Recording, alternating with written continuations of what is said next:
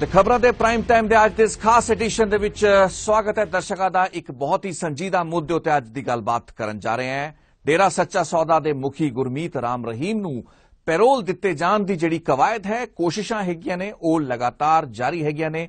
ਇੱਕ ਅਰਜ਼ੀ ਦਿੱਤੀ ਗਈ ਸੀਗੀ ਜਿਸ ਦਾ ਪਿਛੋਕੜ ਆਪਣੇ ਆਪ ਵਿੱਚ ਵਿਵਾਦਾਂ ਭਰਿਆ ਹੈ। ਲੇਕਿਨ ਹਰਿਆਣਾ ਦੇ ਵਿੱਚ ਇੱਕ ਪ੍ਰੋਵੀਜ਼ਨ ਹੈ ਜਿਸ ਦੇ ਤਹਿਤ ਕਿ ਪੈਰੋਲ ਗ੍ਰਾਂਟ ਕੀਤੀ ਜਾ ਸਕਦੀ ਹੈ। ਲੇਕਿਨ ਸਾਡੇ ਨਾਲ Maninderjit Singh Bitta all India anti terrorist front ਦੇ ਪ੍ਰਧਾਨ ਨੇ ਜੋ ਕਿ ਗੁਰਮੀਤ ਰਾਮ ਰਹੀਮ ਦੇ ਖਿਲਾਫ ਸ਼ੁਰੂ ਤੋਂ ਬੋਲਦੇ ਰਹੇ ਨੇ। ਬਹੁਤ ਬਹੁਤ ਸਵਾਗਤ ਹੈ ਬਿੱਟਾ ਜੀ ਸਾਡੇ ਇਸ ਪ੍ਰੋਗਰਾਮ ਦੇ ਵਿੱਚ।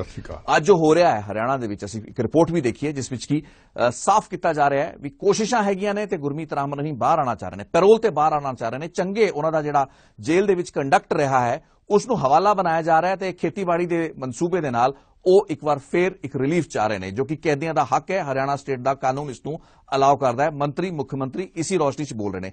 ਤੁਸੀਂ ਕੀ ਕਹਿਣਾ ਚਾਹੋਗੇ? ਹਾਂ, ਬਿਲਕੁਲ। ਹੱਕ ਹੈ 40 ਬੰਦੇ ਮਾਰੇ ਜਾਣ। ਪੂਰੇ ਹਰਿਆਣੇ 'ਚ, ਪੂਰੇ ਦੇਸ਼ ਦੇਸ਼ ਦੇ ਵਿੱਚ ਦਹਿਸ਼ਤ ਫੈਲਾਈ ਜਾਏ। ਬਲਾਤਕਾਰ ਕੀਤੇ ਜਾਣ। ਬੇਗੁਨਾਹਾਂ ਦਾ ਕਤਲੇਆਮ ਕੀਤਾ ਜਾਏ। ਪੱਤਰਕਾਰਾਂ ਨੂੰ ਮਾਰਿਆ ਜਾਏ। ਔਰ ਡੇਢ ਦੋ ਸਾਲ ਦੇ ਵਿੱਚ ਉਹਦਾ ਕਰੈਕਟਰ ਬਹੁਤ ਵਧੀਆ ਲਿਖ ਕੇ ਔਰ ਉਹਨੂੰ ਬਾਹਰ ਕੱਢ ਦਿੱਤਾ ਜਾਏ। ਔਰ ਫਿਰ ਉਹਨੂੰ ਜੈਡ ਪਲੱਸ ਸੁਰੱਖਿਆ ਦੇ ਦਿੱਤੀ ਜਾਏ। ਤੁਸੀਂ ਸੱਚਾ ਸੌਦਾ ਕਹਿ ਰਹੇ ਹੋ, ਮੈਂ ਤਾਂ ਨਹੀਂ ਕਹਿੰਦਾ, ਮੈਂ ਤਾਂ ਉਹਨੂੰ ਲੁੱਚਾ ਸੌਦਾ ਕਹਿੰਦਾ, ਮੇਰੀ ਅੰਦਰੋਂ ਆਵਾਜ਼ ਆਉਂਦੀ ਹੈ। ਉਹ ਲੁੱਚਾ ਸੌਦਾ ਹੈ। ਐਡਾ ਕ੍ਰਿਮੀਨਲ ਔਰ ਪਤਾ ਨਹੀਂ ਅਗਲੇ ਜਿਹੜੇ ਹੋਰ ਕੇਸ ਨੇ, ਉਹਦੇ ਚ 25 ਸਾਲ ਸਜ਼ਾ ਹੋਣੀ ਹੈ 30 ਸਾਲ ਹੋਣੀ ਹੈ, ਫਾਂਸੀ ਹੋਣੀ ਹੈ ਕੁਝ ਨਹੀਂ ਪਤਾ। ਔਰ ਚੀਫ ਮਿਨਿਸਟਰ ਹਰਿਆਣਾ, ਔਰ ਹਰਿਆਣੇ ਦੇ ਕੈਬਨਿਟ ਮਿਨਿਸਟਰ ਮਿਸਟਰ ਵਿਜ ਇੱਕ ਕ੍ਰਿਮੀਨਲ ਬਾਰੇ ਬਿਆਨ ਦੇਣਗੇ ਕਿ ਉਹਦੀ ਜਿਹੜੀ ਐਪਲੀਕੇਸ਼ਨ ਹੈ ਪਰੋਲ ਦੀ, ਉਹ ਵਿਚਾਰ ਅਧੀਨ ਹੈ। ਕੋਈ ਡੀਐਸਪੀ ਦਵੇ ਕੋਈ ਐਸਐਸਪੀ ਦਵੇ ਕੋਈ ਸਰਕਾਰ ਦਾ ਸਪੋਕਸਮੈਨ ਦੇਵੇ ਅੱਜ ਚੀਫ ਮਿਨਿਸਟਰ ਸਾਹਿਬ ਬਿਆਨ ਦੇਣਗੇ। ਇਨਾ ਇਮਾਨਦਾਰ ਚੀਫ ਮਿਨਿਸਟਰ। ਦੇਖੋ ਮੁੱਖ ਮੰਤਰੀ ਨੇ ਕੋਈ ਐਸੀ ਗੱਲ ਨਹੀਂ ਕੀਤੀ। ਮੁੱਖ ਮੰਤਰੀ ਇਹ ਕਹਿ ਰਹੇ ਨੇ ਵੀ ਕਾਨੂੰਨ ਅਲਾਉ ਕਰਦਾ ਤੇ ਕਾਨੂੰਨ ਆਪਣਾ ਰਸਤਾ ਲਏਗਾ? ਜੇਲ੍ਹ ਪ੍ਰਸ਼ਾਸਨ ਜੋ ਸਿਫਾਰਿਸ਼ ਦੇਗਾ ਅਦਾਲਤਾਂ ਨੇ ਫੈਸਲੇ ਕਰਨੇ ਨੇ ਜੇਲ੍ਹ ਪ੍ਰਸ਼ਾਸਨ ਨੇ ਕਰਨੇ ਗੱਲ ਰਾਜ। ਸਰਕਾਰ ਤੇ ਕਾਨੂੰਨ ਅਲਾਉ ਕਰਦੇ ਨੇ। ਮੁੱਖ ਮੰਤਰੀ ਨੇ ਇੰਨੀ ਗੱਲ ਕਹੀ ਹੈ। ਦੇਖੋ ਇੱਕ ਹੈ ਕਾਨੂੰਨ ਸਟੇਟ ਗਵਰਨਮੈਂਟ ਦਾ।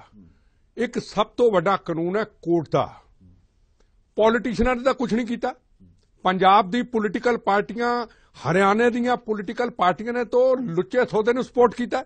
ਅਗਰ ਖੁੱਲ ਕੇ ਸਾਹਮਣੇ ਆਏ ਹੁੰਦੇ ਵੋਟ ਬੈਂਕ ਦੀ ਪੋਲਿਟਿਕਸ ਨਾ ਕੀਤੀ ਹੁੰਦੀ, ਗੁਰੂ ਗੋਬਿੰਦ ਸਿੰਘ ਮਹਾਰਾਜ ਸਾਹਿਬ ਨੂੰ ਕੱਲਾ ਛੱਡ ਦਿੱਤਾ, ਜਿਹੜੇ ਗੁਰੂ ਗ੍ਰੰਥ ਸਾਹਿਬ ਦੇ ਅੱਗੇ ਰੋਜ਼ ਅਸੀਂ ਸਿਰ ਝੁਕਾਉਂਦੇ ਆ ਉਹਨਾਂ ਨੂੰ ਅਸੀਂ ਕੱਲਿਆਂ ਛੱਡਤਾ।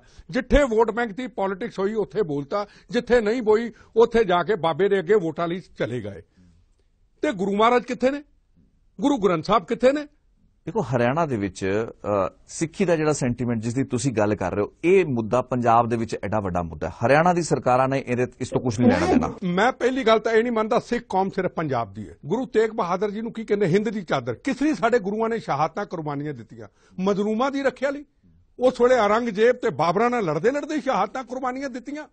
ਤੇ ਅੱਜ ਇਹ ਕਿੱਦਾਂ ਕਹਿ ਸਕਦੇ ਆ? ਇਹ ਤਾਂ ਜੀ ਪੰਜਾਬ ਦੇ ਸਿੱਖਾਂ ਦਾ ਮੁੱਦਾ ਹੈ ਇਹ ਤਾਂ ਹਰਿਆਣਾ ਮੈਂ ਇਸ ਗੱਲ ਨੂੰ ਮੰਨਣ ਨੂੰ ਤਿਆਰ ਲੱਕੀ ਜੀ ਤੁਹਾਡੇ ਨਾਲ ਨਹੀਂ ਆ। ਨਹੀਂ ਠੀਕ ਹੈ ਤੁਸੀਂ ਨਾ ਮੰਨੋ। ਲੇਕਿਨ ਮੈਂ। ਆਪਾਂ ਆਪਾਂ ਆਪਾਂ ਤਰਾਤਲ ਦੀ ਗੱਲ ਕਰੀਏ ਅੱਜ ਹਰਿਆਣਾ ਦੇ ਵਿੱਚ ਕੀ ਤੁਹਾਡੇ ਜਿਹੜੇ ਸੈਂਟੀਮੈਂਟ ਹੈ ਜਾਂ ਉਸ ਸੈਂਟੀਮੈਂਟ ਨੂੰ ਮੈਂ ਵੀ ਕਿਸ ਹੱਦ ਤੱਕ ਸਪੋਰਟ ਕਰਦਾ ਲੇਕਿਨ ਉਸ ਦੀ ਤਰਜਮਾਨੀ ਕਰਨ ਲਈ ਕੀ ਉਹ ਧਿਰ ਮੌਜੂਦ ਹੈ? ਹਰਿਆਣਾ ਦੇ ਵਿੱਚ ਚੋਣਾਂ ਆਉਣ ਵਾਲੀਆਂ ਨੇ ਅਕਤੂਬਰ ਦੇ ਵਿੱਚ ਚੋਣਾਂ ਨੇ। ਚੋਣਾਂ ਤੋਂ ਪਹਿਲਾਂ ਕੋਈ ਵੀ ਪਾਰਟੀ ਜ਼ੋਖਮ ਨਹੀਂ ਚੁੱਕਣਾ ਚਾਹੁੰਦੀ। ਪੰਜਾਬ ਦੇ ਵਿੱਚ ਵੀ ਹਾਲਾਤ ਇਹੀ ਨੇ। ਪੰਜਾਬ ਦੇ ਵਿੱਚ ਹਾਲਾਤ ਇਹੀ ਨੇ ਲੇਕਿਨ ਪੰਜਾਬ ਦਾ ਚੋਣਾਂ ਨਹੀਂ ਹਰਿਆਣਾ ਚੋਣਾਂ ਨੇ ਲੱਕੀ ਜੀ- ਪੈਰੋਲ ਦਾ ਰੌਲਾ ਹੀ ਤਾਂ ਪੈ ਰਿਹਾ। ਲੱਕੀ ਜੀ ਪਿਛਲੀ ਵਾਰੀ ਤੁਹਾਡੇ ਚ ਇੰਟਰਵਿਊ ਚ ਆਇਆ। ਤੁਸੀਂ ਪੁਰਾਣੀ ਮੇਰੀ ਵੀਡੀਓ ਕੱਢੋ। ਮੈਂ ਕਿਹਾ ਲੱਕੀ ਜੀ ਇਹ ਇਲੈਕਸ਼ਨ ਕਿਤੇ ਪੰਜਾਬ ਜਾਂ ਹਰਿਆਣੇ ਚ ਆਈ ਨਹੀਂ ਤੇ ਬਾਬਾ ਬਾਹਰ ਆਇਆ ਨਹੀਂ ਨਹੀਂ ਕਿਹਾ ਤੇ ਮੈਨੂੰ ਦੱਸੋ। ਪੰਜਾਬ ਦੇ ਵਿੱਚ captain Amarinder Singh chief minister Shiromani Akali Dal ਔਰ ਗੁਰਦੁਆਰਾ ਪ੍ਰਬੰਧਕ ਕਮੇਟੀ ਅਕਾਲੀ ਦਲ ਠੀਕ? ਦੋ ਵੱਡੀਆਂ ਪਾਰਟੀਆਂ ਇੱਕ ਬੀਜੇਪੀ ਇਹਨਾਂ ਦੇ ਸਾਥੀ ਤੇ ਸੈਂਟਰ 'ਚ ਬੀਜੇਪੀ ਦੀ ਸਰਕਾਰ। ਵੱਖਰੇ ਵੱਖਰੇ ਕੋ ਜਾਂਦੇ ਹੋ? ਬਿਆਨ ਕਿ ਦਿੰਦੇ ਬਿਆਨ ਨਾ ਦਿਓ। ਕਰਕੇ ਦਿੱਲੀ ਅਮਿਤ ਸ਼ਾਹ ਨੂੰ ਮਿਲ ਕੇ, ਪ੍ਰਾਈਮ ਮਿਨਿਸਟਰ ਨੂੰ ਮਿਲ ਕੇ, ਹਰਿਆਣਾ ਗਵਰਨਮੈਂਟ ਤੇ ਦਬਾਅ ਪਾ ਕੇ, ਉਹਨਾਂ ਦੇ ਕੋਠੀ ਤੋਂ ਬਾਹਰ ਨਿਕਲ ਕੇ ਸਾਰੀ ਪੋਲੀਟੀਕਲ ਪਾਰਟੀਆਂ ਕਾਂਗਰਸ, ਬੀਜੇਪੀ ਔਰ ਅਕਾਲੀ ਦਲ ਖੁੱਲ ਕੇ ਕਹੋ ਕਿ ਬਾਬਾ ਨੂੰ ਪਰੋਲ ਨਹੀਂ ਮਿਲੇਗੀ, ਅਸੀਂ ਵਿਰੋਧ ਕੀਤਾ। ਵੱਖਰੇ ਵੱਖਰੇ ਜਾ ਕੇ ਰਾਜਨੀਤੀ ਨਾ ਕਰੋ। ਮੈਂ ਤੁਹਾਨੂੰ ਉਹੀ ਕਹਿ ਰਿਹਾ ਨਾ ਵੀ ਇਸ ਪੂਰੇ ਮਾਮਲੇ ਦੇ ਵਿੱਚ ਮਾਮਲਾ ਤਾਂ ਹਰਿਆਣੇ ਦਾ ਹੈ। ਤੁਸੀਂ ਜਿਹੜੀ ਗੱਲ ਕਹੀ ਹੈ ਵੀ ਜਾ ਕੇ ਪੰਜਾਬ ਦੀਆਂ ਸਿਆਸੀ ਜਮਾਤਾਂ ਅਮਿਤ ਸ਼ਾਹ ਨੂੰ ਮਿਲਣ, ਬੀਜੇਪੀ ਦੇ ਲੀਡਰਾਂ ਨੂੰ ਮਿਲਣ ਹੋਮ ਮਿਨਿਸਟਰ ਨੂੰ ਮਿਲਣ, ਲੇਕਿਨ ਮੁੱਦਾ ਹੈ ਵੀ ਬੀਜੇਪੀ ਦੇ ਲੀਡਰ ਤਾਂ ਖੁਦ ਇਸੀ ਡੇਰੇ ਕੋਲ ਵੋਟਾਂ ਮੰਗਦੇ ਫਿਰਦੇ ਸੀ। ਕੈਲਾਸ਼ ਵਿਜੇ ਵਰਗੇ ਮੈਨੂੰ ਯਾਦ ਹੈ 2014 ਦੇ ਵਿੱਚ ਕੈਲਾਸ਼ ਵਿਜੇ ਵਰਗੇ ਡੇਰਾ ਸੱਚਾ ਸੌਦਾ ਦੇ ਨਾਲ ਜਿਹੜੀ ਵੋਟ ਦੀ ਸਾਂਝ ਸੀ ਹੈ ਡੇਰੇ ਨੇ ਜਿਹੜਾ ਸਮਰਥਨ ਦਿੱਤਾ ਬੀਜੇਪੀ ਨੂੰ, ਹਰਿਆਣੇ ਦੇ ਵਿੱਚ ਵੀ ਤੇ ਉਸ ਤੋਂ ਪਹਿਲਾਂ ਪਾਰਲੀਮੈਂਟ ਦੇ ਵਿੱਚ ਵੀ। ਉਹ ਸਾਰੀ ਜਿਹੜੀ ਗੱਲਬਾਤ ਹੈ ਉਹ ਕਿੱਥੇ ਖੜਦੀ ਹੈ? ਮੁੱਦਾ ਹੈ ਵੀ ਅਸੀਂ ਆਸ ਕਿਸ ਤੋਂ ਕਰੀਏ? ਨਹੀਂ ਨਹੀਂ ਮੈਂ ਇੱਕ ਗੱਲ ਦੱਸਣਾ। ਦੇਖੋ ਵਿਜੇ ਵਰਤੀ ਗਏ ਜਾਂ ਬੀਜੇਪੀ ਆਰਐਸਐਸ ਦੇ ਹੋਰ ਲੀਡਰ ਗਏ ਗਏ ਹੋਣਗੇ। ਜਿੰਨੀ ਦੇਰ ਤੱਕ ਬਾਬੇ ਦਾ ਜਲਵਾ ਸੀ ਦਬਦਬਾ ਸੀ ਚਾਹੇ ਉਹ ਕਾਂਗਰਸ ਪਾਰਟੀ ਤੇ ਸੀ ਚਾਹੇ ਆਮ ਪਾਰਟੀ ਤੇ ਸੀ ਚਾਹੇ ਬੀਜੇਪੀ ਤੇ ਸੀ ਜਿੰਨੀ ਦੇਰ ਸੀ ਉਹ ਸੀ। ਜਦ ਬਾਬਾ ਐਕਸਪੋਜ਼ ਹੀ ਹੋ ਗਿਆ ਅੱਜ ਕੱਲ ਇੰਨੇ ਬਾਬੇ ਨੇ ਐਕਸਪੋਜ਼ ਹੋਣ ਲੱਗਿਆ ਫਿਰ ਕੋਈ ਉੱਥੇ ਜਾਂਦਾ? ਤੁਹਾਨੂੰ ਲੱਗਦਾ ਤਾਂ ਵੋਟ ਬੈਂਕ ਖਤਮ ਹੋ ਚੁੱਕਿਆ ਉਹਦੇ ਨਾਲ ਵੋਟ ਨਹੀਂ ਹੈ ਉਹਦੇ ਨਾਲ ਡੇਰੇ ਪ੍ਰੇਮੀ ਨਹੀਂ ਹੈਗੇ ਕਿਉਂਕਿ ਹਜੇ ਵੀ ਸਿਆਸਤਦਾਨਾਂ ਨੂੰ ਤਾਂ ਵੋਟ ਦਿਸਦਾ ਹੈ ਨਾ ਜਿਹੜੀ ਚੀਜ਼ ਤੁਹਾਨੂੰ ਨਹੀਂ ਦਿਸਦੀ ਜਾਂ ਮੈਨੂੰ ਨਹੀਂ ਦਿਸਦੀ ਉਹਨਾਂ ਨੂੰ ਵੋਟ ਦਿਸਦਾ ਹਜੇ ਵੀ ਉਹਦੇ ਨਾਲ ਜਿਹੜਾ ਵੋਟ ਬੈਂਕ ਇੰਟੈਕਟ ਹੈ ਪ੍ਰੇਮੀਆਂ ਦਾ ਵੋਟ ਮੈਂ ਇੱਕ ਗੱਲ ਦੱਸਣਾ ਇਸ ਵੇਲੇ ਜੋ ਹਾਲਾਤ ਨੇ ਜਿਸ ਤਰ੍ਹਾਂ ਬੀਜੇਪੀ ਨੂੰ ਇੰਨੀਆਂ ਸੀਟਾਂ ਆਈਆਂ ਨੇ ਤੁਹਾਡੇ ਹਰਿਆਣੇ ਦੇ ਵਿੱਚ ਮੈਂ ਪੁਰਾਣਾ ਟਕਸਾਲੀ ਕਾਂਗਰਸੀ ਹਾਂ। ਮੈਂ ਕਹਿੰਦਾ ਵੀ ਬੀਜੇਪੀ ਜਿੱਤ ਰਹੀ ਹੈ। ਵਿਧਾਨ ਸਭਾ। ਮੈਂ ਹਾਂ ਮੈਂ ਕਹਿੰਦਾ ਵੀ ਬੀਜੇਪੀ ਹਰਿਆਣੇ ਤੋਂ ਜਿੱਤ ਰਹੀ ਹੈ। ਚਾਹੇ ਖੱਟਰ ਸਾਹਿਬ ਦੀ ਇਮਾਨਦਾਰੀ ਹੈ ਜੋ ਵੀ ਜਿੱਤ ਰਹੀ ਹੈ। ਲੋਕ ਦਲ ਦੇ ਵਿਧਾਇਕ ਵੀ ਮਿਲਾ ਲਏ ਸੰਸਦ ਵੀ ਮਿਲਾ ਲਏ ਉਹਨਾਂ ਨੇ ਆਪਣੇ ਨਾਮ ਜਿੱਤ ਰਹੀ ਹੈ। ਤੁਸੀਂ ਜਦੋਂ ਜਿੱਤ ਰਹੇ ਹੋ ਲੋਕੀ ਕਹਿ ਰਹੇ ਸੜਕ ਤੇ ਬੰਦਾ ਤੁਰਿਆ ਜਾਂਦਾ ਕਹਿੰਦਾ ਕਿਤੇ ਢਾਬੇ ਤੇ ਚਾਹ ਪੀਣੀ ਉਹ ਕਹਿੰਦਾ ਵੀ ਬੀਜੇਪੀ ਜਿੱਤ ਰਹੀ ਹੈ। 4 ਮਹੀਨੇ ਪਹਿਲਾਂ ਨਹੀਂ ਜਿੱਤ ਰਹੀ ਸੀ ਹੁਣ ਜਿੱਤ ਰਹੀ ਹੈ ਤੇ ਪੰਗੇ ਕਿਉਂ ਲੈਂਦੇ ਹੋ? ਅਸੀਂ ਕੁਛ ਨਾ ਬੋਲੀਏ ਇੱਕ ਗੱਲ ਯਾਦ ਰੱਖਣਾ ਹਰਿਆਣੇ ਦੇ ਉਹਨਾਂ ਮੰਤਰੀਆਂ ਤੁਹਾਨੂੰ ਗੁਰੂ ਮਹਾਰਾਜ ਨੇ ਮਾਫ ਨਹੀਂ ਜੇ ਕਰਨਾ ਗਲਤਫਹਿਮੀ ਚ ਨਾ ਰਹਿਣਾ। ਤੁਹਾਨੂੰ ਗੁਰੂ ਮਹਾਰਾਜ ਨੇ ਮਾਫ ਨਹੀਂ ਕਰਨਾ। ਜੇ ਕਿਤੇ ਮੇਰੇ ਵਰਗੇ ਤੁਹਾਡੇ ਹਲਕਿਆਂ ਦੇ ਵਿੱਚ, ਦੋ ਤਿੰਨਾਂ ਦੇ ਹਲਕਿਆਂ ਦੇ ਵਿੱਚ ਜਾ ਕੇ ਬਹਿ ਗਏ, ਬੇਟੇ ਦੀਆਂ ਦੋ ਲੜਾਈਆਂ ਲੜਦਾ, ਇੱਕ ਟੈਰਰਿਜ਼ਮ ਦੇ ਖਿਲਾਫ ਲੜਦਾ, ਚਾਹੇ ਪੰਜਾਬ ਦਾ ਟੈਰਰਿਜ਼ਮ, ਚਾਹੇ ਨਕਸਲਿਜ਼ਮ, ਚਾਹੇ ਕਸ਼ਮੀਰ। ਦੂਜੇ ਪਾਸੇ ਧਰਮ ਦਾ ਮੁੱਦਾ, ਚਾਹੇ ਜਾਂ ਸ਼੍ਰੀ ਰਾਮ ਰਾਮ ਜਨਮ ਦਾ ਮੁੱਦਾ, ਉਹਦੇ ਤੇ ਵੀ ਮੈਂ ਖੜਾ ਹੋਇਆ, ਚਾਹੇ ਲੁੱਚੇ ਸੌਦੇ ਦਾ ਮੁੱਦਾ। ਜੇ ਕਿਤੇ ਮੈਂ ਖੜ ਗਿਆ, ਗੁਰੂ ਮਹਾਰਾਜ ਦੇ ਨਾਂ ਦੇ ਉੱਤੇ ਤੁਹਾਡੇ ਨਾਲ ਕਿਤੇ ਸਾਹਮਣੇ ਮੈਂ ਬੋਲਣਾ ਸ਼ੁਰੂ ਕਰਤਾ, ਤੁਹਾਡੀਆਂ ਜ਼ਮਾਨਤਾਂ ਜ਼ਬਤ ਕਰਾ ਦੂੰ। ਤੁਸੀਂ ਇਹ ਕੰਮਾਂ 'ਚ ਨਾ ਪਾਓ। ਤੁਸੀਂ ਜਿੱਤ ਰਹੇ ਹੋ। ਪਰਮਾਤਮਾ ਦਾ ਸ਼ੁਕਰ ਕਰੋ ਤੁਸੀਂ ਜਿੱਤ ਰਹੇ ਹੋ। ਤੁਸੀਂ ਬਿਲਕੁਲ ਇਹ ਮਤ ਸਮਝੋ ਕਿ ਅਸੀਂ ਸਿੱਖਾਂ ਨਾਲ ਕਰ ਰਹੇ ਤੁਸੀਂ ਗੁਰੂ ਗੋਬਿੰਦ ਸਿੰਘ ਮਹਾਰਾਜ ਹਿੰਦ ਦੀ ਚਾਦਰ ਗੁਰੂ ਤੇਗ ਬਹਾਦਰ ਮਹਾਰਾਜ ਮਜ਼ਲੂਮਾਂ ਦੀ ਰੱਖਿਆ ਕਰਨ ਵਾਲੇ ਤੁਸੀਂ ਉਹਨਾਂ ਦੀ ਗੁਰੂਆਂ ਦਾ ਸਾਡਿਆਂ ਦਾ ਅਪਮਾਨ ਕਰ ਰਹੇ ਹੋ। ਤੁਹਾਡੇ ਵੀ ਗੁਰੂ ਨੇ ਸਾਡੇ ਤੁਸੀਂ ਉਹਨਾਂ ਦਾ ਅਪਮਾਨ ਕਰ ਰਹੇ ਹੋ। ਤੁਹਾਨੂੰ ਨਹੀਂ ਜੇ ਬਖਸ਼ਣਾ ਉਹਨਾਂ ਨੇ। ਤੁਸੀਂ ਮੰਨ ਲਓ ਮੇਰੀ ਗੱਲ ਇਹ ਪਾਪੀ ਕੰਮ ਨਾ ਕਰੋ ਇਹ ਮਾੜੇ ਕਰਮ ਨਾ ਕਰੋ। ਮੈਂ ਅਨਿਲ ਵਿਜ ਤੇ ਇੱਕ ਦੋ ਹੋਰ ਮੰਤਰੀਆਂ ਦੇ ਜਿਹੜੇ ਬਿਆਨ ਆ ਤੁਸੀਂ ਸੁਣੇ ਨੇ। ਉਹਨਾਂ ਨੂੰ ਤੁਸੀਂ ਕੁਝ ਵਿਅਕਤੀਗਤ ਸਲਾਹ ਤਾਂ ਤੁਸੀਂ ਵੈਸੇ ਦਿੱਤੀ ਹੈ ਚੁਣੌਤੀ ਵੀ ਦਿੱਤੀ ਹੈ ਚੇਤਾਵਨੀ ਵੀ ਦਿੱਤੀ ਹੈ ਲੇਕਿਨ ਤੁਸੀਂ ਕਹਿਣਾ ਚਾਹੋਗੇ ਮੰਤਰੀ ਜਿਹੜੇ ਹਜੇ ਵੀ ਆਪਣੇ ਆਪ ਨੂੰ ਡੇਰੇ ਨਾਲ ਜੋੜ ਕੇ ਵੇਖਦੇ ਨੇ ਡੇਰੇ ਦੇ ਸਾਹਮਣੇ ਨਤਮਸਤਕ ਹੋਣ ਚ ਅੱਜ ਵੀ ਉਹਨਾਂ ਨੂੰ ਕੋਈ ਮੈਂ ਕਹਾਂ ਇਹਨਾਂ ਨੂੰ ਲੱਕੀ ਜੀ ਮੇਰੀ ਗੱਲ। ਪਹਿਲਾਂ ਪਹਿਲਾਂ ਤਾਂ ਮੈਂ ਇਲੈਕਸ਼ਨਾਂ 'ਚ ਕਿਤੇ ਜਾਂਦਾ ਨਹੀਂ ਠੀਕ ਹੈ? ਮੈਂ ਗੁਰੂ ਮਹਾਰਾਜ ਦੇ ਸਿੱਖ ਵੀ ਹਾਂ ਤੇ ਮੈਂ ਇੱਕ ਪਹਿਲਾ ਭਾਰਤੀ ਵੀ ਹਾਂ। ਜਿੱਦਣ ਮੈਂ ਵੜ ਗਿਆ ਨਾ ਮੈਂ ਪਹਿਲੀ ਗੱਲ ਤਾਂ ਜਾਂਦਾ ਨਹੀਂ। ਜਿੱਦਣ ਮੈਂ ਚੱਲ ਗਿਆ ਮੈਨੂੰ ਲੋਕ ਸੁਣਦੇ ਆ। ਮੈਨੂੰ ਲੋਕ ਸੁਣਦੇ ਆ ਪਰਮਾਤਮਾ ਦੀ ਕਿਰਪਾ ਜਿੱਦਣ ਮੈਂ ਜਾ ਕੇ ਬੋਲਤਾ ਨਾ ਇਹਨਾਂ ਦੀਆਂ ਜ਼ਮਾਨਤਾਂ ਦੋ ਤਿੰਨਾਂ ਦੀਆਂ ਜ਼ਬਤ ਕਰਾ। ਸੰਭਾਵਨਾ ਹੈ ਹਰਿਆਣਾ ਦੇ ਚੋਣਾਂ ਤੋਂ ਪਹਿਲਾਂ। ਐਨੀ ਐਨੀ ਸਟਰੋਂਗ ਪੋਜੀਸ਼ਨ ਚ ਭਾਰਤੀ ਜਨਤਾ ਪਾਰਟੀ ਮੇਰੀ ਇੱਥੋਂ ਗੱਲ ਹੈਗੀ ਹੈ। ਸੁਣੋ ਜਿੱਥੇ ਜਜ਼ਬਾਤ ਜਿੱਥੇ ਗੁਰੂ ਮਹਾਰਾਜ ਦੀ ਕਿਰਪਾ ਹੋਵੇ ਜੈ ਸ਼੍ਰੀ ਰਾਮ ਦੀ ਕਿਰਪਾ ਹੋਵੇ ਐਕਸਪੋਜ਼ ਕਰ ਦੂੰ ਕਿੱਥੇ ਬੈਠੇ ਹੋ ਤੁਸੀਂ? ਮੈਂ ਕੋ ਸਾਰਿਆਂ ਦੇ ਖਿਲਾਫ ਨਹੀਂ ਮੈਂ ਤਾਂ ਦੋ ਤਿੰਨਾਂ ਨੂੰ ਦੱਸਣਾ ਚਾਹੁੰਦਾ ਜਿਹੜੇ ਬੁੜਕਦੇ ਹਰਿਆਣੇ 'ਚ ਜ਼ਿਆਦਾ ਨੇ। ਕੋਈ ਮੁੱਦਾ ਆਵੇ ਪਬਲਿਸਿਟੀ ਦੀ ਭੁੱਖ ਦੀ ਖਾਤਰ ਨਾਲ ਹੀ ਟੀਵੀ ਤੇ ਆਏ ਨੇ, ਮੈਂ ਇਹਨਾਂ ਨੂੰ ਚੰਗੀ ਤਰ੍ਹਾਂ ਜਾਣਨਾ ਇਹ ਕਿਹੜੇ ਕਿਹੜੇ ਬੈਠੇ ਨੇ? ਗੁਰੂ ਮਹਾਰਾਜ ਦੀ ਕਿਰਪਾ ਹੋਈ, ਇਹਨਾਂ ਨੂੰ ਮੈਂ ਰਾਹ ਪਾ ਦੂੰ। ਪਰ ਮੈਂ ਤੁਹਾਨੂੰ ਕਹਿਣਾ, ਤੁਸੀਂ ਜਿੱਤ ਰਹੇ ਹੋ, ਤੁਸੀਂ ਗੁਰੂ ਮਹਾਰਾਜ ਦਾ ਅਪਮਾਨ ਨਾ ਕਰੋ। ਤੁਸੀਂ ਗੁਰੂ ਗੋਬਿੰਦ ਸਿੰਘ, ਗੁਰੂ ਗ੍ਰੰਥ ਸਾਹਿਬ ਜੀ ਦਾ ਅਪਮਾਨ ਨਾ ਕਰੋ ਔਰ ਉਹ ਪਾਪੀ ਨੂੰ ਸ਼ਹਿ ਨਾ ਦਿਓ, ਮੈਂ ਤੁਹਾਨੂੰ ਦੱਸਣਾ ਚਾਹੁੰਦਾ, ਜੇ ਉਹ ਪਾਪੀ ਆ ਕੇ ਭੱਜ ਗਿਆ ਜਾਂ ਪਾਪੀ ਨੂੰ ਕਿਸੇ ਨੇ ਮਾਰਤਾ ਜਾਂ ਪਾਪੀ ਕੇ ਕਾਰਨ 150 ਬੰਦਾ ਮਰ ਗਿਆ, ਤੁਸੀਂ ਜੇਲ੍ਹਾਂ 'ਚ ਜਾਣਾ ਜੇ ਜਿਹੜੇ ਮੰਤਰੀ ਬੋਲਣ ਵਾਲੇ, ਇਹ ਲਿਖ ਲੈਣਾ, ਤੁਸੀਂ ਜੇਲ੍ਹਾਂ 'ਚ ਜਾਓਗੇ। ਸੁਪਰੀਮ ਕੋਰਟ, ਹਾਈ ਕੋਰਟ ਕੋਈ ਨਾ ਕੋਈ ਪੀਆਈਐਲ ਪਾਊ ਔਰ ਤੁਸੀਂ ਜੇਲ੍ਹਾਂ 'ਚ ਜਾਓਗੇ, ਤੁਸੀਂ ਆਪਣੇ ਫਿਊਚਰ ਦੇਖੋ, ਤੁਸੀਂ ਜਿੱਤ ਰਹੇ ਹੋ, ਤੁਸੀਂ ਕਿਉਂ ਪੰਗੇ ਲੈਂਦੇ ਹੋ? ਤੁਸੀਂ ਕੌਮ ਨਾਲ ਪੰਗਾ ਲੈਂਦੇ ਹੋ, ਤੁਸੀਂ ਗੁਰੂਆਂ ਨਾਲ ਪੰਗਾ ਲੈਂਦੇ ਹੋ, ਕਿਉਂ ਲੈਂਦੇ ਹੋ ਪੰਗੇ ਤੁਸੀਂ? ਹਰਿਆਣਾ ਸਰਕਾਰ ਨੇ ਜੋ ਕਰਨਾ ਕਰਾ ਪੰਜਾਬ ਦੀ ਪਾਰਟੀਆਂ ਕੀ ਕਰਨ? ਪੰਜਾਬ ਦਾ ਤਾਂ ਇੱਕ ਬਿਆਨ ਅਸੀਂ ਸੁਖਬੀਰ ਬਾਦਲ ਦਾ ਸੁਣ ਰਹੇ ਹਾਂ। ਉਹ ਕਹਿੰਦੇ ਅਸੀਂ ਵੜਨ ਨਹੀਂ ਦਾਂਗੇ ਬਾਬ- ਗੁਰਮੀਤ ਰਾਮ ਰਹੀਮ ਪੰਜਾਬ ਦੇ ਵਿੱਚ। ਦਾਦੂਵਾਲ ਨੇ ਕੀ ਕਿਹਾ ਸੀ? ਜਦੋਂ ਰਾਮ ਰਹੀਮ ਦਾ ਇਹ ਸਾਰਾ ਮਾਮਲਾ ਚ- ਇਹ ਜੀ ਸਾਡਾ ਪੰਜਾਬ ਨਾਲ ਤਲਕ ਨਹੀਂ ਕੋਈ। ਨਾ ਜੀ ਇੱਥੇ ਕੋਈ ਗੜਬੜ ਨਾ ਹੋਵੇ। ਕਿਉਂ ਬਈ? ਗੁਰੂ ਮਹਾਰਾਜ ਦੀ ਸਿੱਖੀ ਦੁਨੀਆ 'ਚ ਵੱਸਦੀ ਹੈ ਮਹਾਰਾਜ ਲੱਕੀ ਸਾਹਿਬ। ਆ ਸੁਖਬੀਰ ਬਾਦਲ ਦੇ ਬਿਆਨ ਤੇ ਤੁਸੀਂ? ਉਹ ਕਹਿੰਦੇ ਅਸੀਂ ਪੰਜਾਬ 'ਚ ਨਹੀਂ ਵੜਨ ਮੈਂ ਦੇਣਾ। ਉਹੀ ਕਹਿਣ ਕਹਿਣ ਡਿਆ। ਮਤਲਬ ਪੰਜਾਬ ਦੇ ਸਿਆਸਤਦਾਨਾਂ ਦਾ ਉੱਥੇ ਤੱਕ ਇੰਟਰਸਟ ਹੈ ਵੀ ਉੱਥੇ ਭਾਵੇਂ ਪੈਰੋਲ ਮਿਲ ਜਾਏ। ਅਸੀਂ ਇੱਥੇ ਨਹੀਂ ਵੜਨ ਦਾਂਗੇ। ਨਾ ਇਹ ਕਹਿੰਦੇ ਨੇ। ਮੇਰੀ ਗੱਲ ਸੁਣੋ ਹਿੰਦੁਸਤਾਨ ਸਾਡਾ ਹੈ ਤੇ ਅੱਜ ਅਸੀਂ ਪੰਜਾਬ ਤੱਕ ਸੀਮਤ ਕਿਉਂ? ਗੁਰੂ ਮਹਾਰਾਜ ਜਿਹੜੇ ਨੇ ਸਿਰਫ ਪੰਜਾਬ ਤੱਕ ਸੀਮਤ ਸੀ। ਗੁਰੂ ਮਹਾਰਾਜ ਦਾ ਜਨਮ ਸਥਾਨ ਕਿੱਥੇ ਸੀ? ਪਟਨਾ ਕੀ ਮੰਗ ਕਿਸ ਤੋਂ ਕਰ ਰਹੇ ਹੋ? ਕੀ ਮੰਗ ਕਰ ਰਹੇ ਕਿਹੜੀ ਪਾਰਟੀ ਤੋਂ ਕਰ ਰਹੇ ਹੋ? ਅੱਜ ਹਰਿਆਣਾ 'ਚ ਬੀਜੇਪੀ ਦੀ ਸਰਕਾਰ ਕੇਂਦਰ 'ਚ ਬੀਜੇਪੀ ਦੀ ਸਰਕਾਰ ਉਹਦੀ ਭਾਈਵਾਲ ਸ਼ਿਰੋਮਣੀ ਅਕਾਲੀ ਦਲ। ਸ਼੍ਰੋਮਣੀ ਅਕਾਲੀ ਦਲ ਤੇ ਕਾਂਗਰਸ ਵੀ ਨਾਲ ਜੁੜੇ ਨਾ। ਵੱਖਰੇ ਵੱਖਰੇ ਕਿਉਂ? ਇਹ ਪੰਜਾਬ ਨਾਲ ਕਿਉਂ ਜੁੜਿਆ ਜਾਵੇ? ਹਰਿਆਣੇ ਨਾਲ ਕਿਉਂ ਜੁੜਿਆ ਜਾਵੇ? ਕਿਆ ਖੱਟਰ ਸਾਹਿਬ ਨੂੰ ਇਹ ਦੇਖਣਾ ਪਏਗਾ ਕਿ ਇੱਥੇ ਸਿੱਖ ਸਿੱਖਾਂ ਦੀ ਗਿਣਤੀ ਘੱਟ ਹੈ ਜਾਂ ਜ਼ਿਆਦਾ? ਸਾਡਾ ਵੋਟਾਂ ਜ਼ਿਆਦਾ ਹੋਣਗੀਆਂ ਜਾਂ ਘੱਟ ਹੋਣਗੀਆਂ? ਇਹ ਗੱਲਾਂ ਨੂੰ ਕੋਈ ਬਰਦਾਸ਼ਤ ਕਰਨ ਨੂੰ ਤਿਆਰ ਨਹੀਂ ਦੁਨੀਆ ਦੇ ਅੰਦਰ। ਮੈਂ ਕਿੱਥੇ ਆ? ਅੱਜ ਜਿਹੜੇ ਲੁੱਚੇ ਸੌਦੇ ਤੇ ਆਤੰਕਵਾਦੀਆਂ ਨੇ ਹਮਲੇ ਕੀਤੇ ਉਹਨਾਂ ਨੇ ਮੇਰੇ ਤੇ ਕਰਨੇ ਸੀ। ਅੱਜ ਵੀ ਉਹਨਾਂ ਦੀ ਹਿੱਟ ਲਿਸਟਾਂ ਪਰ ਲੁੱਚੇ ਸੌਦੇ ਦੀ ਲਾਈਨ ਅਲੱਗ ਸੀ। ਮੇਰੀ ਲਾਈਨ ਸੀ ਖਾਲਿਸਤਾਨ ਨਾ ਬਣਿਆ ਸੀ ਨਾ ਬਣ ਦਿਆਂਗੇ। ਮੇਰੀ ਉੱਥੇ ਲਾਈਨ ਸੀ ਮੈਂ ਵੀ ਤਾਂ ਖੜਿਆ। ਮੈਨੂੰ ਵੋਟ ਤੇ ਨਹੀਂ ਚਾਹੀਦੀ। ਮੇਰੇ ਅੰਦਰ ਆਤਮਾ ਇਹੀ ਫ਼ਰਕ ਹੈ ਨਾ ਦੇਖੋ ਮੇਰੀ ਆਤਮਾ ਰੋਂਦੀ ਹੈ ਨਾ। ਵੋਟ ਚਾਹੀਦੀ ਨਹੀਂ। ਲੇਕਿਨ ਆਤਮਾ ਨੂੰ। ਵੋਟ ਚਾਹੀਦੀ ਹੈ। ਚਾਹੇ ਉਹ ਖੱਟਰ ਹੈ ਚਾਹੇ ਉਹ ਸੁਖਬੀਰ ਬਾਦਲ ਹੈ ਚਾਹੇ ਉਹ ਕੈਪਟਨ ਅਮਰਿੰਦਰ ਹੈ ਜਿਨ੍ਹਾਂ ਨੂੰ ਵੋਟ ਚਾਹੀਦੀ ਹੈ ਉਹ ਇਹੋ ਜੀ ਗੱਲ ਨਹੀਂ ਕਰ ਸਕਦੇ ਜਿਵੇਂ ਦੀ ਗੱਲ ਤੁਸੀਂ ਕਰ ਰਹੇ ਹੋ। ਤੇ ਇਹੀ ਤਾਂ ਤਰਾਸਦੀ ਹੈ। ਉਹ ਮੇਰੀ ਲੱਕੀ ਜੀ ਮੈਂ ਹਾਕਮ ਤੇਰਾ ਲੱਕੀ ਮੇਨ ਸਟ੍ਰੀਮ ਦੇ ਵਿੱਚ ਤੇਰਾ। ਹੁਣ ਲੱਕੀ ਮੇਰੀ ਗੱਲ ਨੂੰ ਸਮਝੋ ਨਾ ਤੁਸੀਂ। ਲੱਕੀ ਤੁਸੀਂ ਕਹਿੰਦੇ ਮੈਨੂੰ ਵੋਟ ਨਹੀਂ ਲੱਕੀ ਚਾਹੀਦੀ। ਜੀ ਮੇਰੀ ਗੱਲ ਸੁਣੋ। ਮੈਨੂੰ ਬਾਹਰ ਬੈਠਾ ਸਿਸਟਮ ਲੱਕੀ ਦੋ ਮੈਨੂੰ ਵੋਟ ਨਹੀਂ ਚਾਹੀਦੀ। ਲੱਕੀ ਇਸ ਵਕਤ ਮੈਂ ਕੁਝ ਵੀ ਬੋਲ ਸਕਦਾ। ਲੱਕੀ ਜੀ ਮੈਂ ਲੇਕਿਨ ਜਿਨ੍ਹਾਂ ਨੇ ਫੈਸਲੇ ਲੈਣੇ ਜਿਨ੍ਹਾਂ ਨੇ ਪੈਰੋਲਾਂ ਦੇਣੀਆਂ ਨੇ ਉਹਨਾਂ ਨੂੰ ਵੋਟਾਂ ਚਾਹੀਦੀਆਂ ਲੱਕਾ ਨੇ। ਲੱਕੀ ਜੀ ਮੇਰੀ ਗੱਲ ਸੁਣੋ। ਹਿੰਦੁਸਤਾਨ ਖੜਾ ਕਿੱਥੇ ਹੈ? ਮੈਂ ਅਗਰ ਇੰਨੇ ਸਾਲਾਂ ਤੋਂ ਪੋਲਿਟਿਕਸ ਸੀ ਮੈਂ ਪੋਲਿਟਿਕਸ ਇਸ ਕਰਕੇ ਨਹੀਂ ਸੀ ਮੈਂ ਮਿਨਿਸਟਰ ਜਾਂ ਚੀਫ ਮਿਨਿਸਟਰੀ ਬਣਾ। ਠੀਕ? ਸਰਦਾਰ ਬੇਅੰਤ ਸਿੰਘ ਦੀ ਸ਼ਹਾਦਤ ਤੋਂ ਬਾਅਦ ਮੈਨੂੰ ਪ੍ਰਾਈਮ ਮਿਨਿਸਟਰ ਨਰਸਿਮਾ ਰਾਓ ਨੇ ਫੋਨ ਕੀਤਾ ਚਰਈ ਤੋਂ ਕਿ ਸਵੇਰ ਸਵੇਰੇ ਤੂੰ ਡਾਕਟਰ ਮਨਮੋਹਨ ਸਿੰਘ ਐਸਬੀ ਚੌਹਾਨ ਜਾਣਗੇ, ਸੀਐਮ ਦੀ ਸ਼ਪਥ ਲੈਣੀ, ਮੈਂ ਨਾ ਕਰਤਾ। ਮੇਰਾ ਸ਼ੁਰੂ ਤੋਂ ਮਕਸਦ ਨਹੀਂ ਸੀ। ਪੰਜਾਬ 'ਚ ਜਦੋਂ ਮਜ਼ਲੂਮਾਂ ਦਾ ਕਤਲੇਆਮ ਸੀ, ਉਦੋਂ ਅਸੀਂ ਖੜੇ ਹੋਏ ਵੀ ਸਾਡੀ ਸਿੱਖ ਕੌਮ ਨੂੰ ਬਦਨਾਮ ਨਾ ਕੀਤਾ ਜਾਏ। ਅੱਜ ਨਹੀਂ ਤੇ ਲੱਕੀ ਜੀ ਕੱਲ ਜਾਣਾ ਹੈ। ਮੈਂ ਕਹਿੰਦਾ, ਅਸੀਂ ਵਿਦਵਾਨ ਆ ਅਸੀਂ ਪੜ੍ਹੇ ਲਿਖੇ ਆ ਅਸੀਂ ਪਾਵਰਫੁਲ ਆ ਪਰ ਸਾਨੂੰ ਮੌਤ ਯਾਦ ਨਹੀਂ, ਸਾਡੀ ਮੌਤ ਕਿਸ ਵੇਲੇ ਆਉਣੀ ਹੈ? ਅਸੀਂ ਜਾਂਦਿਆਂ ਜਾਂਦੇ ਆਪਣੇ ਗੁਰੂ ਨਾਲ ਆਪਣੇ ਪ੍ਰਮਾਤਮਾ ਨਾਲ ਆਪਣੇ ਗੁਰੂ ਗੁਰੂ ਗ੍ਰੰਥ ਸਾਹਿਬ ਦੇ ਨਾਲ ਅਸੀਂ ਧੋਖਾ ਕਰ ਜੰਨੇ ਆ ਅਸੀਂ ਦੁਨੀਆ ਨੂੰ ਧੋਖਾ ਦੇ ਸਕਦੇ ਆ ਅਸੀਂ ਸਮਾਜ ਨੂੰ ਧੋਖਾ ਦੇ ਸਕਦੇ ਆ ਪਰ ਆਪਣਾ ਧੋਖਾ ਨਹੀਂ ਦੇ ਸਕਦੇ। ਔਰ ਇਹ ਚਰਨਾਂ 'ਚ ਜਾ ਕੇ ਸਾਨੂੰ ਸਾਹਬ ਚੁਕਾਉਣਾ ਵੀ ਪੈਣਾ। ਮੈਂ ਵੀ ਤੁਹਾਡੇ ਸਾਹਮਣੇ ਆ ਮੇਰੀ ਅੰਦਰੋਂ ਆਤਮਾ ਰੋਂਦੀ ਮੇਰੀਆਂ ਅੱਖਾਂ 'ਚ ਵੀ ਅੱਜ ਹੰਝੂ ਨੇ। ਕਿ? ਐਡਾ ਐਡਾ ਨਹੀਂ ਐਡਾ ਭਾਵਨਾਤਮਕ ਗੱਲ ਪੰਜਾਬ ਦਾ ਕੋਈ ਸਿਆਸਤਦਾਨ ਕਰੇ ਨਾ ਕਰੇ ਮੇਰਾ ਕਿਉਂ ਨਹੀਂ ਕਰ ਰਿਹਾ? ਮੇਰਾ ਲੱਕੀ ਜੀ ਕੋਈ ਉਹਨਾਂ ਨੇ ਫੈਸਲੇ ਲੈਣੇ ਨੇ। ਉਹ ਫੈਸਲੇ ਲੈ ਲੈਣੇ। ਲੱਕੀ ਜੀ ਮੇਰਾ ਉਹਦੇ ਨਾਲ ਕੋਈ ਤਲਕ ਨਹੀਂ। ਤੁਸੀਂ ਖੁਦ ਆਪਣੇ। ਲੈਵਲ ਤੇ ਕੀ ਕਰ ਸਕਦੇ ਹੋ? ਕੀ ਕਰ ਸਕੋਗੇ? ਇਹ ਗੱਲ ਤੁਸੀਂ ਕਰ ਰਹੇ ਹੋ। ਲੋਕਾਂ ਤੱਕ ਤੁਹਾਡਾ ਸੈਂਟੀਮੈਂਟ ਜਾ ਰਿਹਾ ਹੈ। ਲੇਕਿਨ ਕਰ ਕੀ ਸਕਦੇ ਆ ਤੁਸੀਂ ਕਹਿ ਹੀ ਸਕਦੇ ਹੋ ਆਵਾਜ਼ ਹੀ ਬੁਲੰਦ ਕਰ ਸਕਦੇ ਹੋ। ਸ਼ੁਰੂ ਤੋਂ ਕਰਦੇ ਆ ਰਹੇ ਹੋ। ਨਹੀਂ ਆਵਾਜ਼ ਬੁਲੰਦ ਕੀਤੀ ਤੇ ਸਾਨੂੰ ਕਿਤੇ ਨਾ ਕਿਤੇ ਉਹਦੇ 'ਚ ਕਾਮਯਾਬੀ ਮਿਲੀ। ਕੋਈ ਨਾ ਕੋਈ ਤਾਂ ਕਾਮਯਾਬੀ ਮਿਲੀ ਜਾਂ ਉਹ ਪਰਿਵਾਰ ਸੀ ਜਾਂ ਅਸੀਂ ਸੀ। ਅਸੀਂ ਤਾਂ ਇੱਕ ਗੱਲ ਕਹਿੰਦੇ ਅਸੀਂ ਪੋਲੀਟੀਸ਼ੀਅਨ ਵੋਟ ਦੀ ਖਾਤਰ ਏਡੇ ਝੂਠੇ ਔਰ ਏਡੇ ਸਵਾਰਥੀ ਹੋ ਗਏ। ਜਾਂਦੇ ਆ ਗੁਰਦੁਆਰਿਆਂ 'ਚ ਮੱਥਾ ਟੇਕਣ ਮੱਥਾ ਟੇਕਦੇ ਆ ਕੀਰਤਨ ਸੁਣਦੇ ਆ, ਗੱਲਾਂ ਕਰਦੇ ਆ, ਲੋਕਾਂ ਨੂੰ ਬੇਵਕੂ ਬਣਾਉਂਦੇ ਆ।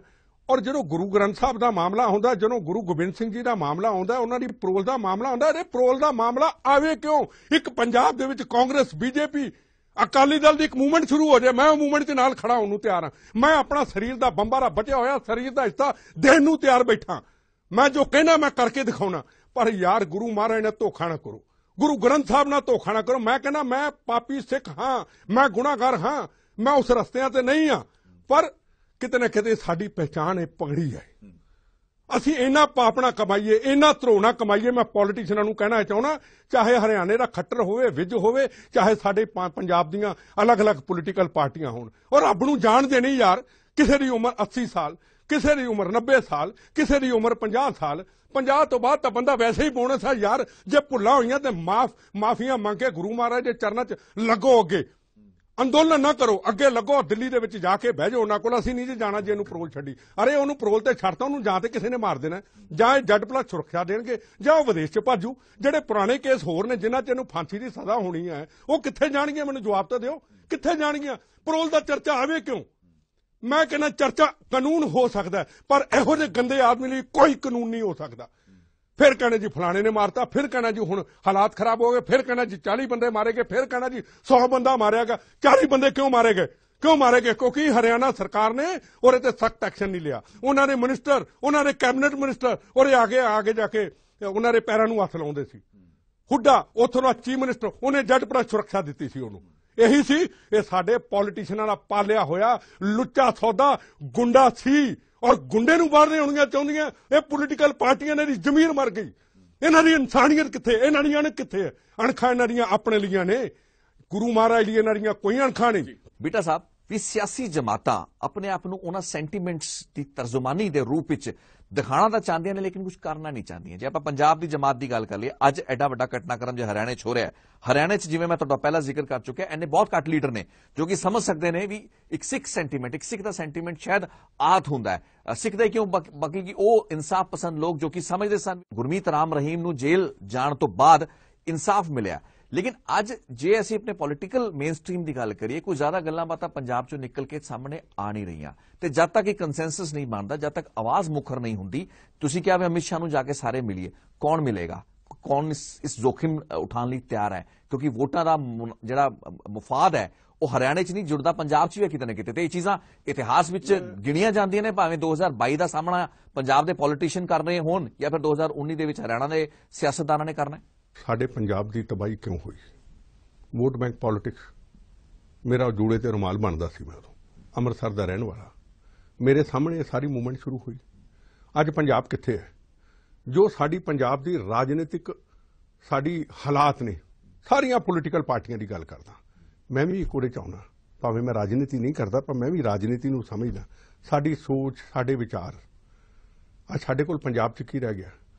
ਪਵਿੱਤਰ ਜਗ੍ਹਾ ਸਿਰਫ ਹਰਮੰਦਰ ਸਾਹਿਬ, ਜਿੱਥੇ ਦੁਨੀਆ ਦਾ ਹਰ ਵਿਅਕਤੀ, Congress, BJP, CPM, CPI, Hindu, ਮੁਸਲਮਾਨ, ਸਿੱਖ, ਈਸਾਈ, ਉੱਥੇ ਨਮਸਤਕ ਕਰਦਾ ਉਹ ਰਹਿ ਗਿਆ।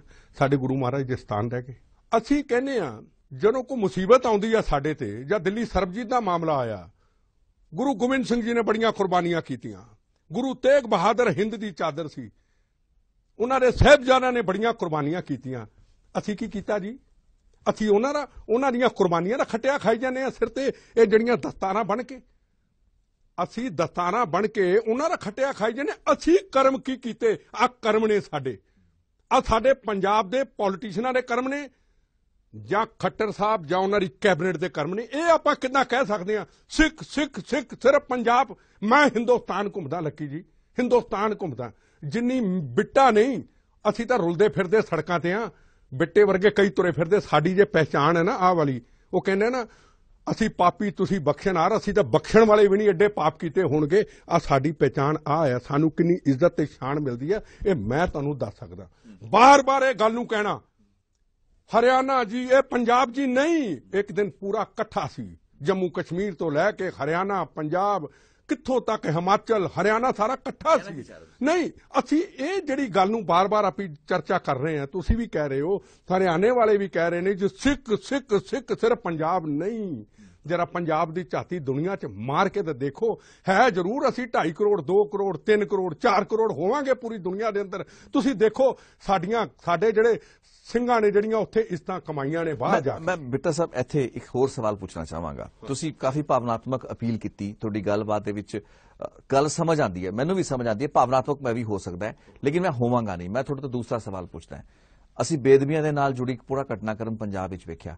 ਸਜ਼ਾਵਾਂ ਲੋਕਾਂ ਨੂੰ ਹੋ ਨਹੀਂ ਰਹੀਆਂ ਸਿੱਟਾਂ ਉੱਤੇ ਸਿੱਟਾਂ ਬਣੀਆਂ ਜਾ ਰਹੀਆਂ ਨੇ। ਜਿਹੜੇ ਮੇਨ ਕੀ ਐਕਿਊਜ਼ ਸਨ ਵਿਟਨੈਸ ਸਨ ਮਹਿੰਦਰਪਾਲ ਬਿੱਟੂ ਵਰਗੇ ਨਾਭਾ ਜੇਲ੍ਹਾਂ 'ਚ ਉਹਨਾਂ ਨੂੰ ਮਾਰਿਆ ਜਾ ਰਿਹਾ ਅੱਜ ਜਦੋਂ ਮਹਿੰਦਰਪਾਲ ਬਿੱਟੂ ਦਾ ਭੋਗ ਪੈਂਦਾ ਹੈ ਦੋ ਦਿਨ ਪਹਿਲਾਂ ਦੀ ਘਟਨਾਕ੍ਰਮ ਮੈਂ ਤੁਹਾਨੂੰ ਦੱਸ ਰਿਹਾ ਉਸ ਵਕਤ ਡੇਰਾ ਪ੍ਰੇਮੀ ਜਿਹੜੀ ਜਿਹੜੀ ਉਹਨਾਂ ਦੀ ਇਕੱਠ ਹੁੰਦਾ ਉਹ ਕਹਿੰਦੇ ਵੀ ਅਸੀਂ ਅਲਟੀਮੇਟਮ ਦਿੰਦੇ ਆ ਸਰਕਾਰਾਂ ਨੂੰ, ਪੁਲਿਸ ਅਫਸਰਾਂ ਨੂੰ ਪੁਲਿਸ ਫੋਰਸ ਨੂੰ ਵੀ ਸਾਡੇ ਮੱਥਿਓਂ ਇਹ ਜਿਹੜਾ ਬੇਅਦਬੀ ਦਾ ਜਿਹੜਾ ਦਾਗ ਹੈ ਉਸ ਨੂੰ ਲੱਥੋ। ਕਿਤੇ ਨਾ ਕਿਤੇ ਇੱਕ ਸੈਂਟੀਮੈਂਟ ਹੈ ਵੀ ਟਾਰਗੇਟ ਡੇਰੇ ਨੂੰ ਕੀਤਾ ਗਿਆ ਡੇਰੇ ਦਾ ਵੀ ਇੱਕ ਇੱਕ ਇੱਕ ਹੋਲਡ ਹੈ। ਹੁਣ ਮੁੱਦਾ ਇਹ ਵੀ ਜਦੋਂ ਪੰਜਾਬ ਦੇ ਵਿੱਚ ਬੇਅਦਬੀ ਤੇ ਸਿਆਸਤ ਹੋਏਗੀ ਇਨਸਾਫ ਹੋਏਗਾ ਨਹੀਂ। ਦੁੱਧ ਦੇ ਦੁੱਧ ਪਾਣੀ ਦਾ ਪਾਣੀ ਕੱਢਣ ਦੇ ਦਾਅਵੇ ਸਾਡੀਆਂ ਸਿੱਟਾਂ ਕਰ ਰਹੀਆਂ ਨੇ। ਹੋ ਕੁਝ ਕਰਿਆ ਨਹੀਂ। ਬੰਦੇ ਉਹਨਾਂ ਦੇ ਉਹਨਾਂ ਦੇ ਚਲਾਨ ਪੇਸ਼ ਨਹੀਂ ਕੀਤੇ ਜਾਂਦੇ। ਜੇਲ੍ਹਾਂ 'ਚ ਬੰਦੇ ਮਾਰਤੇ ਜਾਂਦੇ ਨੇ। ਉਸ ਹਾਲਾਤ ਦੇ ਵਿੱਚ ਕੀ ਸਾਡੇ ਕੋਲ ਇਸ ਨਫ਼ਰਤ ਦਾ ਜਾਂ ਜਿਹੜਾ ਗੁੱਸਾ ਤੁਹਾਡੇ ਮਨ ਦੇ ਵਿੱਚ ਭਰਿਆ ਹੋਇਆ ਹੈ ਉਸ ਨੂੰ ਜ਼ਿਆਦਾ ਦੇਰ ਤੱਕ ਸਸਟੇਨ ਕਰਨ ਦਾ ਸਬਬ ਬਣਦਾ ਸਾਡੇ ਸਾਡੇ ਪੋਲੀਟੀਕਲ ਕਲਾਸ ਨੂੰ ਸਾਡੇ ਐਸਟੈਬਲਿਸ਼ਮੈਂਟ ਨੂੰ ਜਸਟੀਫਾਈ ਵੀ ਕਰਨਾ ਪਏਗਾ ਇਸ ਗੁੱਸੇ ਨੂੰ। ਕੱਲੇ ਸੈਂਟੀਮੈਂਟ ਨਾਲ ਕੰਮ ਨਹੀਂ ਦੇਖੋ ਚੱਲਣਾ। ਪਹਿਲੀ ਗੱਲ ਤਾਂ ਇਹ ਹੈ। ਜੇ ਗੁਰੂ ਗ੍ਰੰਥ ਸਾਹਿਬ ਦਾ ਲੁੱਚਾ ਸੌਦਾ ਦੇ ਲੋਕਾਂ ਨੇ ਅਪਮਾਨ ਕੀਤਾ ਹੈ। ਜੀ। ਪੁਲਿਸ ਨੇ ਇੰਟਰੋਗੇਸ਼ਨ ਕੀਤੀ। ਪਹਿਲੀ ਗੱਲ ਤਾਂ ਮੈਨੂੰ ਇਹ ਦੱਸੋ ਨਾਭਾ ਜਾਂ ਪਟਿਆਲਾ ਜੇਲ੍ਹ 'ਚ ਪੰਜਾਬ ਦੀ ਜੇਲ੍ਹ ਦੇ ਵਿੱਚ ਉਹਨੂੰ ਰੱਖਣ ਦੀ ਲੋੜ ਕੀ ਸੀ? ਉਹਨੂੰ ਰੱਖਣਾ ਮਤਲਬ ਉਹ ਕਤਲ ਹੋਣਾ ਹੀ ਹੋਣਾ ਮਰਨਾ ਹੀ ਮਰਨਾ ਹੈ। ਚਾਹੇ ਉਹ ਬਾਬਾ ਮਰਵਾਏ ਚਾਹੇ ਲੁੱਚਾ ਸੌਦਾ ਮਰਵਾਏ ਚਾਹੇ ਧਾਰਮਿਕ ਭਾਵਾਂ ਭਾਵਨਾਵਾਂ ਨੂੰ ਲੈ ਕੇ ਇਹ ਮਾਰਨ। ਉਹ ਤਾਂ ਹੋਣਾ ਹੀ ਹੋਣਾ। ਇਹ ਸਭ ਤੋਂ ਗਲਤ ਫੈਸਲਾ ਸੀ ਜਿੰਨੇ ਵੀ ਕੀਤਾ ਜੋ ਵੀ ਹੋਇਆ ਪ੍ਰਸ਼ਾਸਨ ਨੇ ਕੀਤਾ ਜਿਹਦੀ ਵੀ ਸਲਾਹ ਹੋਈ ਪਟਿਆਲਾ ਨਾਭਾ ਜੇਲ੍ਹ ਦੇ ਵਿੱਚ ਤਾਂ ਉਹਨਾਂ ਦਾ ਰੱਖਣਾ ਹੀ ਮੌਤ ਸੀ। ਅਸੀਂ ਖੁਲਾਸਾ ਵੀ ਕੀਤਾ ਸੀ ਪਹਿਲਾਂ ਪਤਾ ਲੱਗਿਆ ਸੀ ਫੇਰ ਵੀ ਸ਼ਿਫਟ ਨਹੀਂ ਕੀਤਾ ਗਿਆ ਮੈਨੂੰ ਮੇਰੀ ਅੱਜ ਤੁਸੀਂ ਲੁਧਿਆਣਾ ਜੇਲ੍ਹ ਦਾ ਹਾਲ ਦੇਖ ਲਓ ਕੀ ਹੋਇਆ। ਇੱਥੇ ਇੱਥੇ ਬਚਾ ਲਓ ਕਿ ਤੁਹਾਡਾ ਫਰਜ਼ ਬਣਦਾ ਸੀ ਜਦੋਂ ਤੱਕ ਇਨਕੁਆਰੀ ਪੂਰੀ ਨਹੀਂ ਹੁੰਦੀ। ਸੀਬੀਆਈ ਇਨਕੁਆਰੀ ਨਹੀਂ ਕਰ ਲੈਂਦੀ ਜਾਂ ਪੰਜਾਬ ਦੀ ਜੋ ਵੀ ਕਮੇਟੀ ਐਸਆਈਟੀ ਕਮੇਟੀ ਉਹਦਾ ਇਨਸਾਫ ਮਹਿੰਦਰਪਾਲ ਬਿੱਟੂ ਦੇ ਮਰਨ ਤੋਂ ਬਾਅਦ ਹੁਣ ਸਿੱਟ ਜਾ ਕੇ ਬਿਆਨ ਲੈਂਦੀ ਫਿਰ ਰਹੀ ਦੇਖੋ ਹੈ ਉਹਨਾਂ ਚੀਜ਼ਾਂ ਦਾ ਕੋਈ ਫਾਇਦਾ ਨਹੀਂ। ਇਹਨਾਂ ਨੂੰ ਕਰਦੇ ਕਿਸੇ ਬਾਹਰ ਦੀਆਂ ਜੇਲ੍ਹਾਂ ਦੇ ਵਿੱਚ ਸ਼ਿਫਟ ਨਾ ਹਰਿਆਣਾ ਨਾ ਪੰਜਾਬ। ਇਹਨਾਂ ਨੂੰ ਮੱਧ ਪ੍ਰਦੇਸ਼ ਕਰ ਲੈਂਦੇ। ਇਹਨਾਂ ਨੂੰ ਕਿਤੇ ਬੈਂਗਲੌਰ ਕਰ ਲੈਂਦੇ? ਪਹਿਲਾਂ ਵੀ ਤਾਂ ਕਈ ਬੈਂਗਲੌਰ ਪੰਜਾਬ ਦੇ ਬੇਗੁਨਾਹ ਦੇ ਕਾਤਲ ਉੱਥੇ ਭੇਜੇ ਸੀ, ਉੱਥੇ ਕਰ ਲੈਂਦੇ। ਜਦੋਂ ਲੋੜ ਹੁੰਦੀ ਉੱਥੇ ਬੁਲਾਉਂਦੇ, ਨਹੀਂ ਤੇ ਇੱਥੋਂ ਦੇ ਅਫਸਰ ਜਾਂਦੇ, ਉੱਥੇ ਇੰਟਰੋਗੇਸ਼ਨ ਕਰਦੇ, ਕਰਕੇ ਉਹਦਾ ਰਿਜ਼ਲਟ ਲੈਂਦੇ। ਗਲਤੀ ਤਾਂ ਅਸੀਂ ਕੀਤੀ।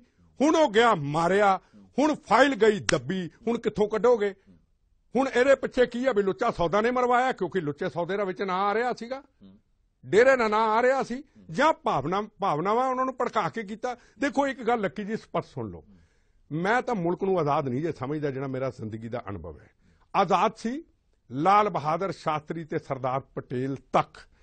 ਅੱਜ ਤੱਕ ਤੇ ਅੱਗੇ ਤੱਕ ਜੋ ਮੇਰਾ ਅਨੁਭਵ ਹੈ, ਗੁਲਾਮੀ 'ਚ ਰਹੇ, ਲਾਲ ਬਹਾਦਰ ਸ਼ਾਸਤਰੀ, ਲਾਲ ਪਟੇਲ ਜੀ ਕੋ ਬਾਅਦ, ਰਾਜਨੀਤੀ ਗੁਲਾਮੀ 'ਚ ਰਹੇ, ਰਾਜਨੀਤੀ ਗੁਲਾਮੀ 'ਚ ਜੀਵਾਂਗੇ ਤੇ ਰਾਜਨੀਤੀ ਗੁਲਾਮੀ 'ਚ ਜਿਉਂਦੇ ਰਵਾਂਗੇ, ਕਾਰਨ ਪ੍ਰਸ਼ਾਸਨ ਕਿਹਦਾ ਹੈ? ਮੇਰਾ। ਅਗਰ ਖੱਟਰ ਸਾਹਿਬ ਚਾਹਣਗੇ ਕਿ ਇਹਨੂੰ ਬਾਹਰ ਕੱਢਣਾ ਤੇ ਜਿਹੜੇ ਪੁਲਿਸ ਅਧਿਕਾਰੀਆਂ ਨੇ, ਹਰਿਆਣਾ ਦੇ ਪੁਲਿਸ ਅਧਿਕਾਰੀਆਂ ਨੇ ਮੌਤ ਦਾ ਕਫਨ ਬਣ ਕੇ ਉਸ ਵੇਲੇ ਇਹ ਮੌਤ ਦੇ ਨਾਲ ਲੜਾਈ ਲੜੀ, ਉਹਨਾਂ ਦੀ ਕੋਈ ਵੁਕਤ ਨਹੀਂ। ਕੋਰਟ ਦੀ ਕੋਈ ਵੁਕਤ ਨਹੀਂ। ਕੱਲ ਨੂੰ ਉਹ ਜੱਜ ਨੂੰ ਕੋਈ ਮਾਰਦੇ, ਜਿੰਨੇ ਐਡੀ ਵੱਡੀ ਗੁਰੂ ਮਹਾਰਾਜ ਦੀ ਕਿਰਪਾ ਦੇ ਨਾਲ ਫੈਸਲਾ ਸੁਣਾਇਆ, ਉਹਦੀ ਕੋਈ ਉਹਦੀ ਕੋਈ ਮਿਹਨਤ ਨਹੀਂ। ਉਹਦੀ ਕੋਈ ਇਨਸਾਫ ਦੀ, ਕੋਈ ਲੋਕਾਂ ਦੇ ਸਾਹਮਣੇ, ਸਮਾਜ ਦੇ ਸਾਹਮਣੇ ਪੋਲੀਟੀਸ਼ੀਅਨ ਵੱਡਾ ਇੱਕ ਗੱਲ ਸਪਸ਼ਟ ਸੁਣ ਲਓ। ਕੋਈ ਕੋਰਟ ਨਹੀਂ ਕੋਈ ਸੁਪਰੀਮ ਕੋਰਟ ਨਹੀਂ ਕੋਈ ਹਾਈ ਕੋਰਟ ਨਹੀਂ ਪ੍ਰਸ਼ਾਸਨ ਮੈਂ ਚੀਫ ਮਿਨਿਸਟਰ ਹਾਂ ਮੇਰੇ ਅੰਦਰ ਪ੍ਰਸ਼ਾਸਨ ਹੈ, ਤੈਨੂੰ ਐਦਾਂ ਕਰਨਾ ਹੀ ਪਵੇਗਾ ਨਹੀਂ ਕਰਾਂਗੇ ਚੁੱਕ ਕੇ ਉਹਨੂੰ ਮਾਰਾਂਗੇ ਇਹ ਸਚਾਈ ਹੈ ਲੋਕਾਂ ਨੂੰ ਕਿਉਂ ਨਹੀਂ ਦੱਸਦੇ ਸਚਾਈਆਂ ਵੀ ਅਸੀਂ ਰਾਜਨੀਤਿਕ ਗੁਲਾਮੀ 'ਚ ਜੀਨੇ ਹਾਂ ਕੋਰਟਾਂ ਨੇ ਫੈਸਲੇ ਸੁਪਰੀਮ ਕੋਰਟਾਂ ਨੇ ਫੈਸਲੇ ਹਾਈ ਕੋਰਟਾਂ ਨੇ ਫੈਸਲੇ ਅਸੀਂ ਅਸੀਂ ਉਹਨਾਂ ਨੂੰ ਜੁੱਤੀਆਂ ਦੇ ਨਾਲ ਠੁਕਰਾ ਰਹੇ ਹਾਂ। ਆ ਤੁਸੀਂ ਦੇਖ ਲਓ ਕਿਦਾਂ ਕਹਿਤਾ ਹਰਿਆਣਾ ਗਵਰਨਮੈਂਟ ਨੇ ਕਿ ਬਾਬੇ ਨੂੰ ਅਸੀਂ ਲੁੱਚੇ ਸੌਦੇ ਨੂੰ ਅਸੀਂ ਬਾਹਰ ਕੱਢ ਦਿਆਂਗੇ। ਕਹਿ ਕਿਵੇਂ ਦਿੱਤਾ? ਮੈਨੂੰ ਇਹ ਨਹੀਂ ਸਮਝ ਆਉਂਦੀ। ਦੇਖੋ ਇਨਸਾਫ ਦਾ ਤਕਾਜ਼ਾ ਤੇ ਸਾਡੇ ਸਿਸਟਮ ਦਾ ਜਿਹੜਾ ਜਿਹੜਾ ਸਿਸਟਮ ਹੈ ਉਹਦਾ ਢਾਂਚਾ ਜਿਹੜਾ ਵਿਗੜਿਆ ਹੈ ਤਾਂ ਹਾਲਤ ਹਰ ਪਾਸੇ ਹੀ ਹੈ। ਅਸੀਂ ਫਿਰ ਆਪਾਂ ਕੀ ਗੱਲਾਂ ਕਰਦੇ ਹਾਂ? ਹਾਂ ਉਹੀ ਮੈਂ ਕਹਿ ਰਿਹਾ ਨਾ ਫਿਰ ਇਨਸਾਫ਼ ਦੀਆਂ ਕੀ ਗੱਲਾਂ ਪੰਜਾਬ ਦੇ ਕਰਦੇ ਵਿੱਚ ਗਵਰਨਰ ਨੇ ਚਾਰ ਜਿਹੜੇ ਪੁਲਿਸ ਅਫਸਰ ਸੀ ਜਿਨ੍ਹਾਂ ਨੇ ਝੂਠੇ ਫਰਜ਼ੀ ਮੁਕਾਬਲੇ ਕੀਤੇ ਸੀ ਉਮਰ ਕੈਦ ਦੀਆਂ ਸਜ਼ਾਵਾਂ ਹੋਈਆਂ ਸੀ ਉਹਨਾਂ ਦੀ ਸਜ਼ਾ ਮਾਫ ਕਰਤੀ ਹੈ। ਦੂਜੇ ਪਾਸੇ ਅਫਸਰਾਂ ਨੂੰ ਸਜ਼ਾਵਾਂ ਨਹੀਂ ਹੋ ਰਹੀਆਂ। ਉਹ ਵੀ ਮਾਮਲੇ ਨੇ ਉਹਨਾਂ ਨੂੰ ਚਲੋ ਉਹ ਤੁਹਾਨੂੰ ਸੂਟ ਨਹੀਂ ਕਰਦਾ ਹੋਏਗਾ ਤੁਸੀਂ ਇਹੋ ਜਿਹੇ ਮੁੱਦੇ ਨਹੀਂ ਚੁੱਕਦੇ। ਇਹ ਮੁੱਦਾ ਤੁਸੀਂ ਚੁੱਕਣਾ ਚਾਹ ਰਹੇ ਹੋ ਠੀਕ ਗੱਲ ਹੈ ਵਾਜਿਬ ਹੈ। ਲੇਕਿਨ ਸਾਡੇ ਦੇਸ਼ ਦੇ ਵਿੱਚ ਆਵਾ ਤਾਂ ਉੱਤੇ ਪਿਆ ਹੈਗਾ ਨਾ। ਅਸੀਂ ਅਸੀਂ ਅਸੀਂ ਉਹੀ ਕਰ ਰਹੇ ਲੇਕਿਨ ਪੋਲੀਟੀਕਲ ਕਲਾਸ ਮੇਰਾ ਫੇਅਰ ਪੁਆਇੰਟ ਉੱਥੇ ਆ ਜਾਂਦਾ ਹੈ ਘੁੰਮ ਫਿਰ ਕੇ। ਕਿਉਂਕਿ ਤੁਸੀਂ ਮੇਨ ਸਟ੍ਰੀਮ ਸਿਆਸਤ ਚ ਹੋ ਰਹੀ ਤੁਸੀਂ ਗੱਲਾਂ ਕਰ ਸਕਦੇ ਹੋ ਤੁਸੀਂ ਗੱਲਾਂ ਨੂੰ ਇਜ਼ਹਾਰ ਕਰ ਸਕਦੇ ਹੋ ਤਰਜਮਾਨੀ ਕਰ ਸਕਦੇ ਹੋ ਲੋਕਾਂ ਦੇ ਸੈਂਟੀਮੈਂਟ ਦੀ। ਲੇਕਿਨ ਹਰ ਜਿਹੜੀ ਸਿਆਸੀ ਜਮਾਤ ਹੈ ਅੱਜ ਭਾਵੇਂ ਪੰਜਾਬ ਦੇ ਵਿੱਚ ਕਾਂਗਰਸ ਪਾਰਟੀ ਹੈ ਉਹਦੇ ਪ੍ਰਧਾਨ ਖੁੱਲ ਕੇ ਬੋਲ ਰਹੇ ਨੇ ਵੀ ਡੇਰਾ ਸੱਚਾ ਸੌਦਾ ਕੋਲ ਦੁਬਾਰਾ ਅਸੀਂ ਕਦੀ ਜਾਣ ਦਾ ਮਤਲਬ ਨਹੀਂ ਬਣਦਾ ਗੱਲਾਂ ਬਾਤਾਂ ਹੋ ਰਹੀਆਂ ਨੇ। ਲੇਕਿਨ ਉਹਨਾਂ ਦੇ ਉਮੀਦਵਾਰ ਅੱਜ ਵੀ ਵੋਟਾਂ ਮੰਗਦੇ ਹੋਣਗੇ। ਇੱਕੋ ਗੱਲ ਸੁਣੋ ਲੱਕੀ ਜੀ ਮੇਰੀ ਗੱਲ ਸੁਣੋ। ਅੱਜ ਵੀ ਲੋੜ ਪਵੇ। ਅੱਜ ਵੀ ਲੋੜ ਪਵੇ ਪੰਜਾਬ 'ਚ ਇਲੈਕਸ਼ਨ ਦੀ। ਕਾਂਗਰਸ ਹੋਵੇ ਅਕਾਲੀ ਦਲ ਹੋਵੇ ਬੀਜੇਪੀ ਹੋਵੇ। ਹੁਣ ਲੋਕ ਸਭਾ ਚ ਪਈ ਹੋਣੀ ਹੈ। ਜੋ ਵੀ ਗਏ ਹੋਣੇ? ਮੇਰੀ ਗੱਲ ਨਹੀਂ ਸਮਝੇ। ਗਏ। ਸਾਰੇ ਗਏ। ਕਿੱਦਾਂ ਨਹੀਂ ਗਏ? ਆ ਜਿਹੜਾ ਹਰਿਆਣੇ ਦਾ ਪ੍ਰੈਜ਼ੀਡੈਂਟ ਸੀ ਕਾਂਗਰਸ ਦਾ ਕੀ ਉੱਥੋਂ ਵੋਟਾਂ ਨਹੀਂ ਲਈਆਂ? ਵੋਟਾਂ ਲਈਆਂ ਨਹੀਂ? ਕਿਉਂ ਵੋਟਾਂ ਲੈਂਦੇ ਹੋ? ਅੱਜ ਨਹੀਂ ਤੇ ਕੱਲ ਜਾਣਾ। ਪਰਮਾਤਮਾ ਨਾਲ ਧੋਖਾ ਕਰਦੇ ਗੁਰੂ ਮਹਾਰਾਜ ਨੇ ਧੋਖਾ ਕਰਦੇ ਹੋ। ਇਸ ਕਰਕੇ ਇਹ ਤੁਸੀਂ ਬਿਲਕੁਲ ਭੁੱਲ ਜਾਓ ਸਾਡੇ ਲਈ ਵੋਟ ਔਰ ਸਤਾ ਪਿਆਰੀ ਹੈ। ਅਸੀਂ ਅਸ਼ੋਕ ਤਮਰੀਆ ਹਰਿਆਣਾ ਦੇ ਸਿਆਸਤਦਾਨਾਂ ਤੋਂ ਤਾਂ ਆਸਾਂ ਉਮੀਦਾਂ ਲਾਈਆਂ ਜੇ ਸਾਨੂੰ ਪੰਜਾਬ ਦੇ ਸਿਆਸਤਦਾਨ ਸਾਡੇ ਜਾਣ ਛੱਡਣ। ਠੀਕ ਹੈ ਨਾ? ਇਹ ਸਾਡੇ ਕਿਹੜਾ ਸਿਆਸਤਦਾਨ ਹਲੇ ਖੁੱਲ ਕੇ ਬੋਲ ਰਹੇ ਨੇ? ਜੋ ਗੱਲ ਤੁਸੀਂ ਕਰ ਰਹੇ ਹੋ ਉਹ ਪੰਜਾਬ ਦਾ ਕੋਈ ਪੋਲੀਟੀਸ਼ੀਅਨ ਕਿਉਂ ਨਹੀਂ ਕਰ ਰਿਹਾ? ਕਿਸ ਨੂੰ ਕਿਉਂ ਨਹੀਂ ਸੂਟ ਕਰਦੀ ਮੈਂ ਨਹੀਂ ਕਰ ਰਿਹਾ। ਇਹ ਮੈਨੂੰ ਗੁਰੂ ਮਹਾਰਾਜ ਦੀ ਕਿਰਪਾ ਮੈਂ ਪਾਪੀ ਸਿੱਖ ਨੂੰ ਇਹ ਸੇਵਾ ਬਖਸ਼ੀ ਮੈਂ ਕਰ ਰਿਹਾ। ਮੈਂ ਤਾਂ ਕਰ ਹੀ ਨਹੀਂ ਰਿਹਾ। ਮਨ ਤੋਂ ਮੇਰੇ ਮਨ ਤੋਂ ਆਵਾਜ਼ ਆਈ ਤੇ ਮੈਂ ਪਹਿਲਾਂ ਵੀ 10 ਸਾਲ ਪਹਿਲਾਂ ਵੀ ਲੜਿਆ ਅੱਜ ਵੀ ਲੜ ਰਿਹਾ। ਜਿੰਨੀ ਦੇਰ ਮੇਰੀ ਬਚੀ ਜ਼ਿੰਦਗੀ ਹੈ ਬੰਬਾਣਾ ਮੈਂ ਲੜੂੰਗਾ ਇਹਦੇ ਖਿਲਾਫ। ਤੁਸੀਂ ਕੀ ਕਰ ਸਕਦੇ ਜੇ ਤੁਸੀਂ ਆਪਣੇ ਪੱਧਰ ਤੇ ਆਪਾਂ ਗੱਲ ਕਰੀਏ ਠੀਕ ਹੈ ਇਹ ਗੱਲਾਂ ਬਾਤਾਂ ਤੁਸੀਂ ਮੀਡੀਆ ਦੇ ਵਿੱਚ ਜਾ ਕੇ ਟੈਲੀਵਿਜ਼ਨ ਚੈਨਲਾਂ ਤੇ ਪਹਿਲਾਂ ਵੀ ਡੇਰਾ ਸੱਚਾ ਸੌਦਾ ਨੂੰ ਭੰਡਿਆ ਹੁਣ ਵੀ ਭੰਡ ਰਹੇ ਹੋ। ਲੇਕਿਨ ਉਸ ਤੋਂ ਉੱਤੇ ਉੱਠਦਿਆਂ ਹੋਇਆ ਕੋਈ ਐਸੀ ਕੰਕਰੀਟ ਕਾਰਵਾਈ ਤਾਂ ਕਿਸੇ ਕਰਨੀ ਪੈਣੀ ਜੇ ਸਰਕਾਰਾਂ। ਚੁੱਪ ਨੇ ਸੁੱਤੀਆਂ ਪਈਆਂ ਸਿਆਸੀ ਜਮਾਤਾਂ ਤਾਂ ਤੁਹਾਡੇ ਵਰਗੇ ਲੋਕ ਗਿਆਨ ਕੁਝ ਕਰਨ? ਸਾਡੇ ਕੋਲ ਇੱਕੋ ਹੀ ਹੱਲ ਹੈ ਅਸੀਂ ਪਰਿਵਾਰਾਂ ਨੂੰ ਮਿਲੀਏ ਪਰਿਵਾਰਾਂ ਨਾਲ ਮਿਲ ਕੇ ਪਰਿਵਾਰ ਬਿਲਕੁਲ ਖੜਾ ਹੈ ਇਸ ਵੇਲੇ ਉਹਨਾਂ ਦੇ ਪਰਿਵਾਰ ਜੋ ਜਿਨ੍ਹਾਂ ਨੇ ਪੱਤਰਕਾਰ ਜਿਨ੍ਹਾਂ ਨੂੰ ਸ਼ਹੀਦ ਕੀਤਾ ਅਸੀਂ ਉਹਨਾਂ ਨਾਲ ਮਿਲ ਕੇ ਹਾਈ ਕੋਰਟ ਦਾ ਸੁਪਰੀਮ ਕੋਰਟ ਦਾ ਦਰਵਾਜ਼ਾ ਉਹਨਾਂ ਨੇ। ਕਿਹਾ ਵੀ ਪਰਿਵਾਰ ਨੇ ਕਿਹਾ ਅਸੀਂ- ਸਾਡੇ ਕੋਲ ਕੋਈ। ਹੱਲ ਨਹੀਂ ਪੋਲੀਟੀਸ਼ੀਅਨ ਤੇ ਸਾਨੂੰ ਕੋਈ ਉਮੀਦ ਨਹੀਂ ਪਰ ਅਗਰ ਪੰਜਾਬ ਦੇ ਪੋਲੀਟੀਸ਼ੀਅਨ ਸੰਸੀਅਰ ਨੇ ਸਾਰੀ ਪੋਲੀਟੀਕਲ ਪਾਰਟੀਆਂ ਸੰਸੀਅਰ ਨੇ ਗੁਰੂ ਗ੍ਰੰਥ ਸਾਹਿਬ ਦੇ ਨਾਂ ਦੇ ਉੱਤੇ ਸੰਸੀਅਰ ਨੇ ਗੁਰੂ ਗੋਬਿੰਦ ਸਿੰਘ ਮਹਾਰਾਜ ਦੇ ਨਾਮ ਤੇ ਸੰਸੀਅਰ ਨੇ ਤੇ ਸਿੱਧਾ ਜਾਣ ਜੇ ਸਚਾਈ ਇਹੀ ਹੈ ਗੁਰੂ ਮਹਾਰਾਜ ਦੇ ਨਾਂ ਤੇ ਇਕੱਠੇ ਹੋ ਕੇ ਅਮਿਤ ਸ਼ਾਹ ਦੇ ਕੋਲ ਬਹਿ ਜਾਓ ਅਕਾਲੀ ਦਲ ਬਹਿ ਜੇ ਕਾਂਗਰਸ ਬਹਿ ਜੇ, ਬੀਜੇਪੀ ਬਹਿ ਜੇ। ਤਿੰਨ ਪਾਰਟੀਆਂ, ਮੈਂ ਨਹੀਂ ਕਹਿੰਦਾ ਕੋਈ ਹੋਰ ਪਾਰਟੀ ਲਓ, ਕਿ ਦੱਦੂ ਵੱਧ ਕਿਸੇ ਨੂੰ ਲੈ ਲਓ, ਇਹਨੂੰ ਨਹੀਂ। ਇਹਦੀ ਕੋਈ ਲੋੜ ਨਹੀਂ ਹੈ ਸਭ ਸਰਕਾਰੀ ਬੰਦੇ ਨੇ। ਇਹ ਏਜੰਸੀਆਂ ਦੇ ਬੰਦੇ ਨੇ। ਲੈ ਕੇ ਬਹਿ ਜਾਓ। ਲੈ ਜਿੱਦਣ ਇਹ ਜਾਣਗੇ 15 ਮਿੰਟ ਦੇ ਵਿੱਚ ਵਿੱਚ, ਲੱਕੀ ਜੀ, ਗੁਰੂ ਮਹਾਰਾਜ ਜੀ ਕਸਮ ਖਾ ਕੇ ਕਹਿੰਦਾ 15 ਮਿੰਟ ਦੇ ਵਿੱਚ ਵਿੱਚ ਨਾਲ ਹੀ ਹੋਮ ਮਿਨਿਸਟਰੀ ਤੋਂ ਬੈਨ ਆ ਜਾਏਗਾ, ਬਾਬੇ ਨੂੰ ਬਾਹਰ ਨਹੀਂ ਕੱਢਣਾ। ਮੈਂ ਤੁਹਾਨੂੰ ਗਰੰਟੀ ਨਾਲ ਕਹਿੰਦਾ, ਮੇਰੇ ਨਾਲ ਹੱਥ ਮਿਲਾਓ। ਮਿਲਾਓ ਹੱਥ, ਮੈਂ ਤੁਹਾਨੂੰ ਗਰੰਟੀ ਨਾਲ ਕਹਿੰਦਾ। ਜੇ ਨਹੀਂ ਜਾਣਗੇ ਤੇ ਸਮਝੋ ਵੀ ਆਪਾਂ ਗੁਰੂ ਮਹਾਰਾਜ ਨਾਲ ਵੀ ਧੋਖਾ ਕਰਦੇ ਹਾਂ, ਆਪਾਂ ਗੁਰੂ ਗ੍ਰੰਥ ਸਾਹਿਬ ਨਾਲ ਵੀ ਧੋਖਾ ਕਰਦੇ ਹਾਂ, ਆਪਣੀ ਲੋਕਾਂ ਦੀਆਂ ਭਾਵਨਾਵਾਂ ਨਾਲ ਵੀ ਖਿਲਵਾੜ ਕਰਦੇ ਹਾਂ। ਇਹ ਗਰੰਟੀ ਨਾਲ ਮੈਂ ਤੁਹਾਨੂੰ ਕਹਿੰਦਾ ਇਹ ਕਿਹੜੀ ਗੱਲ ਆ ਉਹਨੂੰ? ਬਾਹਰ ਕੱਢਣਾ ਉਹਨੂੰ? ਪਰ ਉਹ ਆ ਹੀ ਨਹੀਂ ਸਕਦਾ, ਲੱਕੀ ਜੀ, ਐਡਾ ਕ੍ਰਿਮੀਨਲ ਆਦਮੀ, ਉਹਦੇ ਤੇ ਹੋਰ ਕੇਸ ਚੱਲ ਰਹੇ ਨੇ। ਉਹ ਆ ਹੀ ਨਹੀਂ ਸਕਦਾ। ਇਹ ਪੋਲੀਟੀਕਲ ਮਜਬੂਰੀਆਂ ਵੋਟ ਬੈਂਕ ਦੀ ਜਿਹੜੀ ਸਤਾ ਕੁਰਸੀ ਦਾ ਲਾਲਚ ਹੈ ਜੋ ਮੈਂ ਤੁਹਾਨੂੰ ਕਿਹਾ ਸੀ ਜਿਸ ਦਿਨ ਪੋਲੀਟੀਕਲ ਪਾਰਟੀਆਂ ਨੂੰ ਵੋਟ ਨਜ਼ਰ ਆਏਗੀ ਉਹ ਬਾਹਰ ਆ ਜਾਏਗਾ। ਉਹ ਤੁਹਾਡੇ ਸਾਹਮਣੇ ਚੀਜ਼ ਆ ਗਈ ਜਿਹੜੀ ਪਹਿਲਾਂ ਕਹੀ ਸੀ। ਚਲਿਏ ਅ, ਨੋਟ ਤੇ ਬਿੱਟਾ ਜੀ ਬਹੁਤ ਬਹੁਤ ਧੰਨਵਾਦ ਤੇ ਇਸ ਗੱਲਬਾਤ ਨੂੰ ਵੀ ਵਿਰਾਮ ਦੇਣ ਦਾ ਸਮਾਂ ਆ ਚੁੱਕਾ ਹੈ ਤੇ ਤੁਸੀਂ ਸੁਣਿਆ Maninderjit Singh Bitta anti terrorist front ਦੇ